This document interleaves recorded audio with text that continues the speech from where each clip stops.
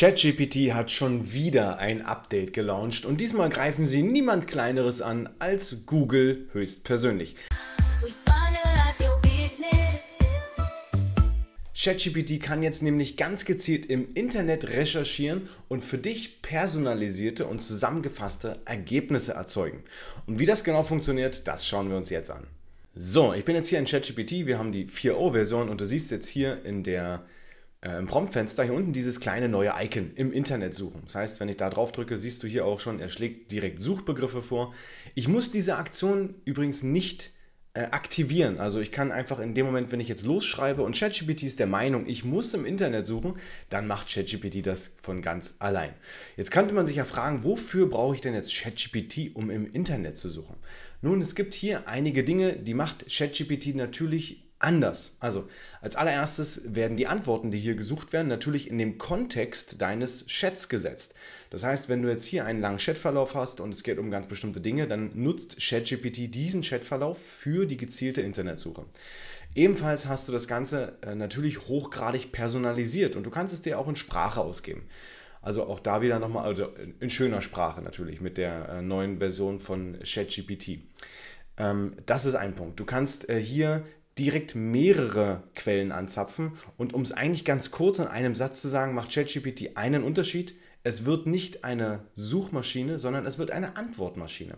Das heißt, wir können jetzt hier irgendetwas suchen und bekommen halt direkt die Antworten, die von ChatGPT zusammengefasst werden.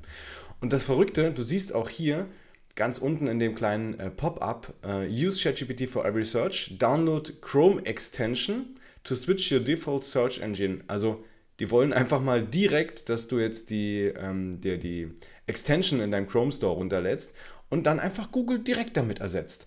Also ganz klarer Angriff auf die größte Suchmaschine dieser Welt. Und wie das Ganze funktioniert, das werden wir jetzt einfach mal an ein paar Beispielen testen. Das heißt, ich fange jetzt mal mit ganz einfachen Sachen an und sage, ähm, oder ich, ich fange mal mit einem schönen Beispiel an. Eine Sache, die mich in der Recherche immer wahnsinnig viel Zeit gekostet hat.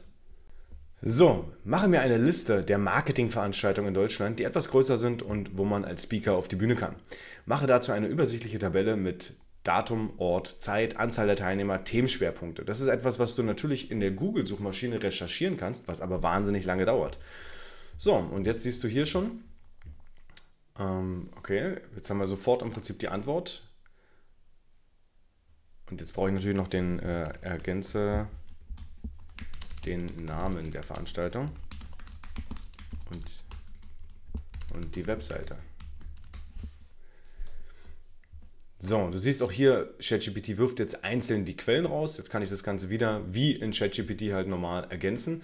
Und du siehst, ich habe jetzt hier mit einem kurzen Klick schon mal direkt für 2025 eine Liste der Veranstalter mit dem Ort, mit den erwarteten Teilnehmern und mit den Themenschwerpunkten und kann mich navigieren. Das ist doch mal eine echte Erleichterung in der Recherche. Also der absolute Wahnsinn. Du siehst also, jetzt werden hier unterschiedliche Quellen angezapft. Ich kann mir die ganzen Quellen hier auch anzeigen lassen. Und du siehst, was er jetzt innerhalb dieser kurzen Zeit an Quellen angezapft hat, was ich hätte sonst ergoogeln müssen. Ja, also eine echte Erleichterung oh, und äh, ich bin total begeistert. So, ich habe eine, einen neuen Befehl gepromptet. Also mach mir eine Liste von ausgefallenen Restaurants in Berlin. Also nicht der klassische Italiener um die Ecke, sondern Fusionsküche, Dunkelrestaurant oder internationale Küche, die nicht so alltäglich ist wie zum Beispiel Persisch. Auch hier, zack, bekomme ich sofort die Antworten und du siehst hier unten auch, welche Quellen angezapft wurden. Perfekt. Ähm, packe Öffnungszeiten, Straße. Postleitzahl und Webseite dazu. So, jetzt wird wieder die Tabelle ergänzt und zack, habe ich von allen noch die Öffnungszeiten und den Ort und den Namen. Ihr könnt jetzt natürlich wieder diese Tabelle und so weiter immer wieder ergänzen. Du siehst also, es macht die Recherchearbeit extrem einfach.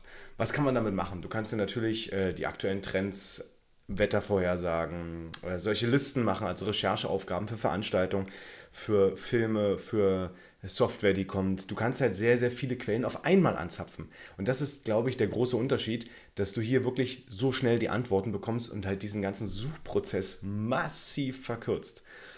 Tja, wie Google darauf reagieren wird und ob wir in Zukunft nicht mehr googeln, sondern ChatGPT nutzen, um halt jede Suche abzugeben, ich weiß es nicht, aber ich nutze das jetzt hier mit großer Begeisterung.